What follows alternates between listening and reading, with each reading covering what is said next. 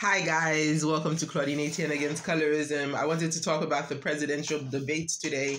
Colorism finally surfaced in the American presidential debates. I don't know who noticed the question that was asked. So finally America is becoming aware of colorism, not 100%, but it's pretty good. so I mean, the whole thing about women's freedom, women's suffrage has been playing a role whereas President former President Trump or um, presidential candidate Donald Trump has been the, I guess, the one who is training these women how to debate, basically. Because if we remember correctly, um, in 2016, um, Hillary went against Donald Trump. Um, and then um, now Kam- Kamala Harris. So he's training women to become leaders of politicians. But in my opinion, um, I still think uh, this current um, uh, political female leader is very weak. And um, I and I'm going to a- address the colorism issue. So apparently, it wasn't even Trump who asked the question uh, because I guess the questions were being asked. So one of the questionnaires asked her about assuming the black identity when she had in prior years claimed that she's not black. And this is really important because um, one of the countries that, are one of the pivotal, pivotal issues with the immigration is my homeland of Haiti. And of course, I you know I don't agree with everything that Haitian people do. In fact, I am battling against the colorism in Haitian communities. So in Haitian communities, if you're really fair skinned, you they don't people who are of really fair skin who are colorist, they will not consider themselves as blacks. They will identify as white, especially since the people will worship them and label them white as a, a word of affectionate, of, of, of affection. Okay. Um, so when this was raised to this woman who had once claimed not to be white, black, I really, I mean, this was really exciting because then it reminds you of Tiger Woods.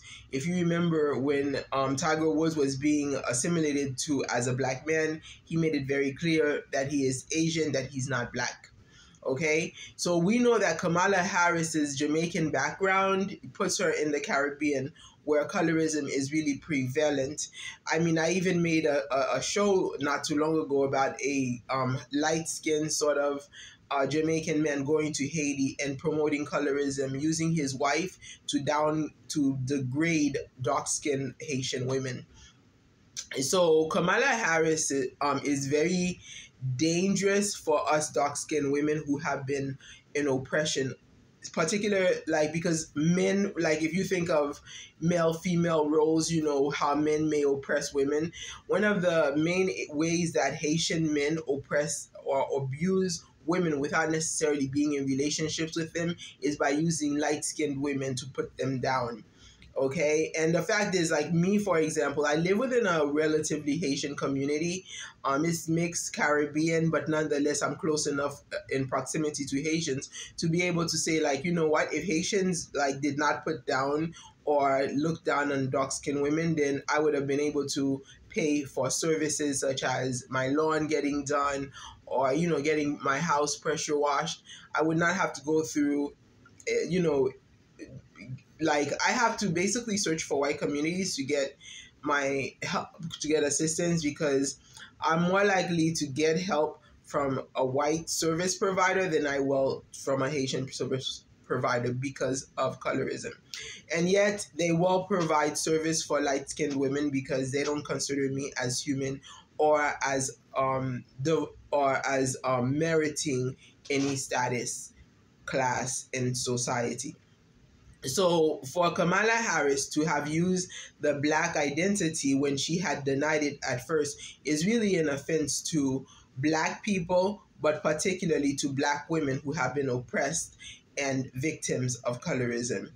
And then to imagine that this is going to be our leader. So to uh, to have a light skin or mixed race um, female leader in a country that is so racist, one who is married to a white man, one whose hair is like, you know, the soft curls, whereas we are constantly oppressed for our dark dark skin, constantly oppressed for our coarse hair, and you know, you know, for the disadvantage of hair you know, one of the things that, um, like for example, I think Latinos or mulatto women use against black women is the long, soft European style hair, as they use men to put us down. Like even today, I found like a Spanish um uh uh, pamphlet from one of those religious groups, you know, light skinned women, mulatto, Spanish apparently women who think that they are better than me and using religion to put me down, like telling me that I'm going to hell because I,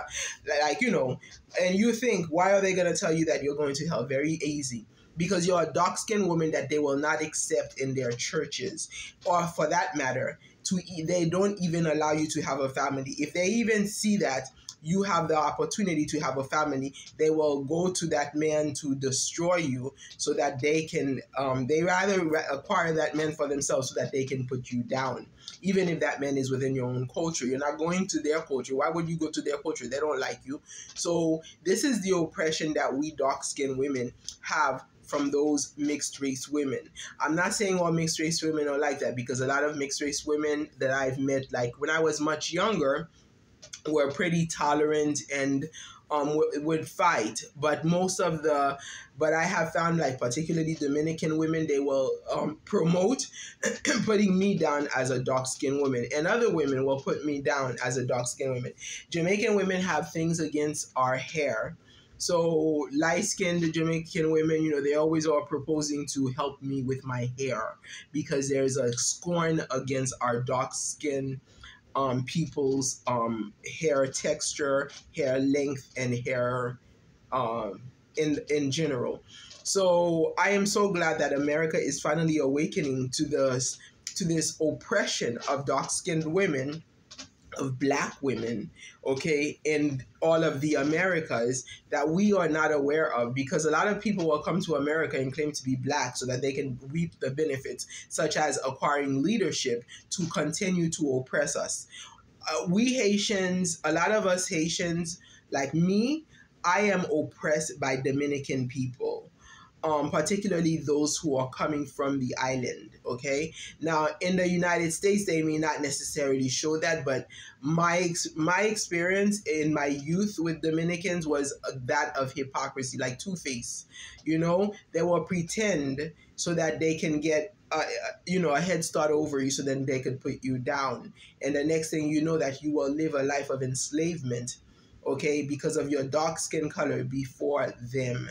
Okay, now do I find that with other Hispanics? Other Hispanics maybe do not have the kind of proximity to me, okay, as far as a Haitian person to be able to do that. So they won't do it. They won't do it because in America, I can always fight for my rights. But I, it has happened in Dominicans because they claim the black umbrella. It is a very dangerous thing when you find a mixed woman claiming to be white, black, okay, in America. Because if they cannot claim to be black 100% and fight for you, then they are going to oppress you. And it is worse than the Ku Klux Klan. The oppression of mixed race people in the Caribbean, in my experience as a Haitian woman, because they will use you, they will enslave you without you even knowing it. It's the new age racism, the new age enslavement, because they've always been doing that. If you think of the restavek in Haiti, most of the restavek in Haiti are living and serving light skinned mixed mulatto people in Haiti, including Dominicans. Okay? It's because in the Dominican Republic, those um, Dominicans, those mixed race Dominicans, they are considered as whites by Haitian people. All right, so they will oppress us, they will put us down, they will scorn us even in America. And if we are making a, one step ahead, they will make sure that they push us back. And I have this as one hand experience. So when I see Kamala Harris taking on the black name, it is the Ku Klux Klan, you know, disguising oneself as black to come and oppress us as um, black women. So I am glad to see that America is waking up to colorism, understanding colorism. All right. And um, Donald Trump, and you know, I, you know, Donald Trump, you know, yeah, he is training these women, and you know, like you know, in his presidency, um, well, at least in his candidacy, we are seeing this, you know, because me, for example, I am safer in a